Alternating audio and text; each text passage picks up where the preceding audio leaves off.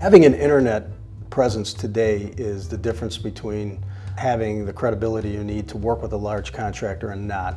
In wind access engineering, we're dealing with companies like GE, um, Gamesa, you know, billion dollar corporations.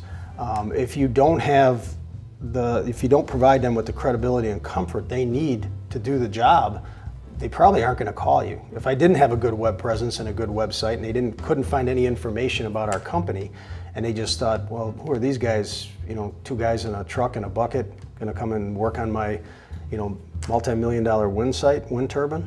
Um, no, we have to we have to establish that credibility by via the internet. Sikich does a great job in conveying that to our customers. We want to have the credibility coming out of the box. We can't wait to develop it.